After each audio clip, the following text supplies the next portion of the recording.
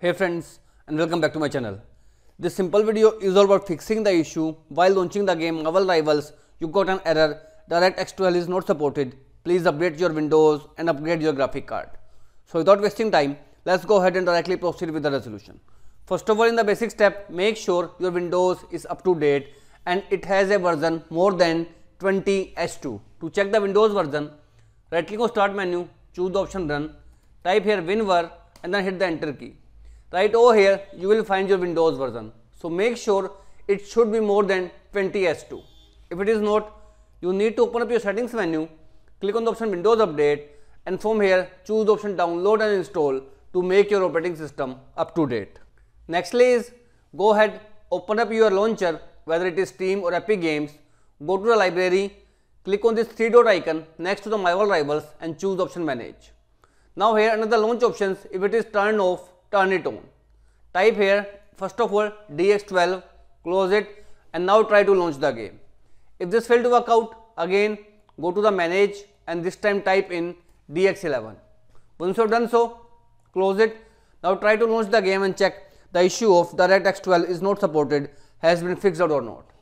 If this failed to work out let's proceed with the second step. In second step I recommend to do update or either roll back your graphic card drivers. To do so, right click on start menu, choose the option device manager. Now in device manager, you need to expand your display adapter. Now right click on your dedicated GPU, choose option properties, click here on the driver tab. Now if rollback driver option is available, choose the option rollback driver to roll back your drivers to the previously stable state that help you launch the game. Else if rollback doesn't work out, you need to open up your manufacturer website. So for that, open up your browser and here is official website for the AMD. Simply click on this option, download Windows driver, install it and this will update your graphic drivers to the latest version.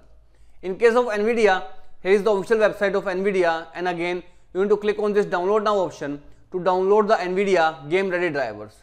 Download this NVIDIA app into your system, install it and then it will ask you to update your game ready drivers. Go ahead, make sure to update the drivers and then try to launch the game if the issue of DirectX 12 is not supported has been fixed out or not.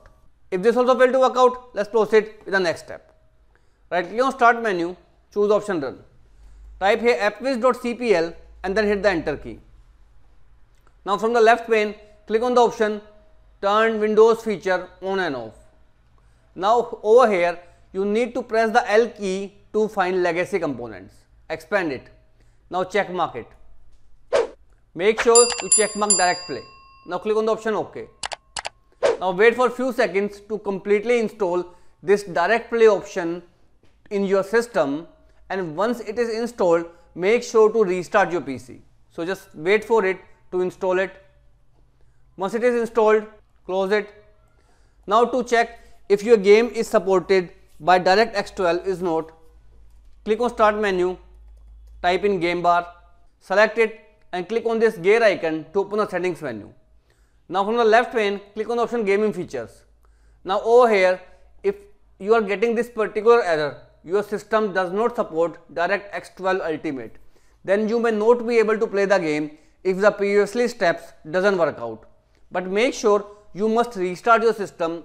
After restarting your system, only then check this gaming feature option and if it is saying direct X12 Ultimate is supported then the issue will be completely fixed by now. So make sure restart your PC and using your Xbox game bar you must check the gaming feature of direct X12 Ultimate.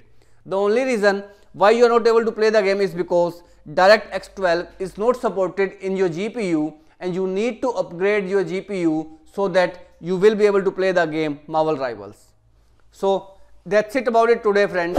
If this video works out for you, I request you to please click on subscribe button and turn on the bell notification icon to continue receiving updates from my channel.